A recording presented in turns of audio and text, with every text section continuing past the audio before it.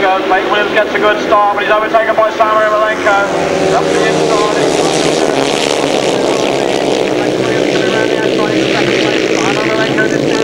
Samuel goes to the front. It's Marcel Gerhard. Samuel Ermolenko, Clayton Williams as we look across to the far side. And round they come towards us. Sam has a little bit of a moment there, but it's Marcel Gerhard. From Samuel Ermolenko from Clayton Williams in third place. Oleg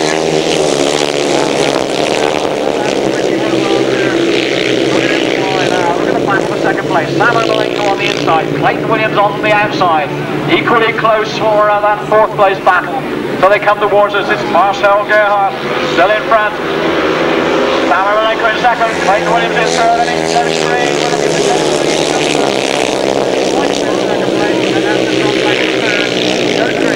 Second place, and Sam Ermolenko Clayton Williams is hard on his heels, but the leader, Marcel Gerhard, this flying Swiss, is coming down the hill towards us once again. Joe Screen through to second place, and look at Albert there. Clayton Williams, coming up contention there. Fourth place. Williams takes it back again as the far side. Look at the leader, heading for the checkered flag. Marcel Gerhard, it's the Swiss, he's taken a win. Marcel Gerhard wins. Joe Screen in second place. Sam Ermolenko in third, and Peter Carr and Clayton Williams very, very close together, just ahead of Oleg Kukushkin.